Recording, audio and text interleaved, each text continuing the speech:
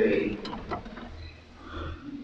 ci alterniamo con il coro, quattro versetti, questo inno alla croce che è presente nella liturgia delle ore, il giorno della Domenica delle Palme. Ex da Regis Prodeunt, i figli del Re avanzano.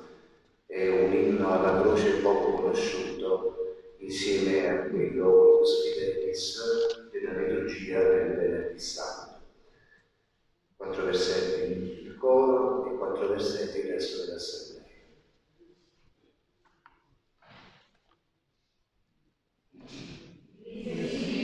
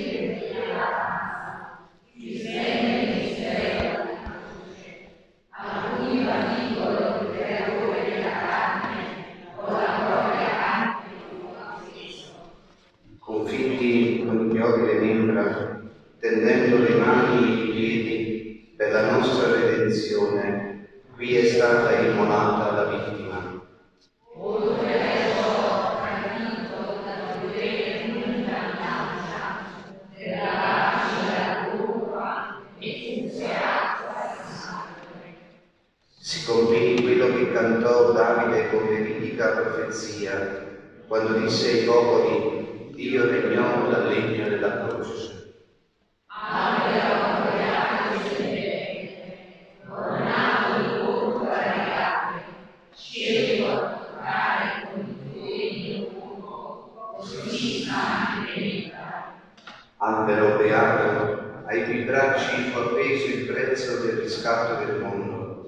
Si ridotto stadera il corpo di Cristo e questi strappò via la preda dell'inferno. E.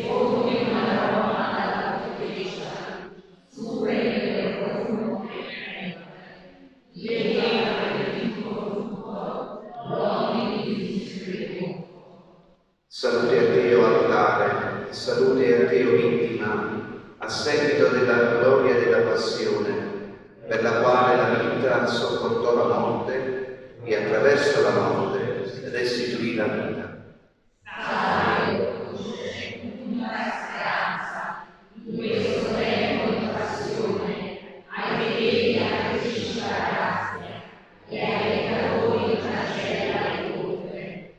Te, Trinità, fonte di salvezza, esalti ogni essere vivente, coloro che salvi attraverso il mistero della croce, proteggi per l'eternità.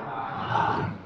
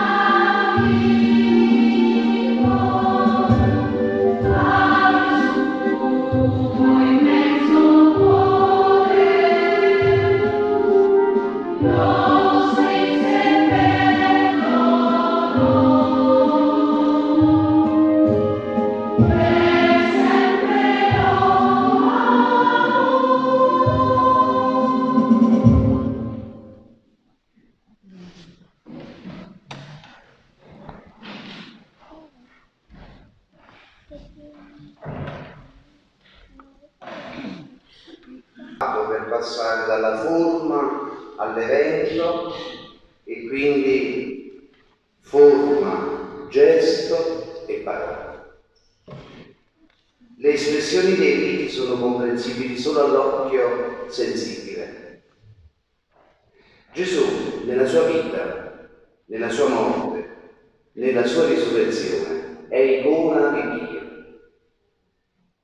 Nello sguardo del crocifisso Dio si fa visibile esattamente come appare negli uomini che soffrono.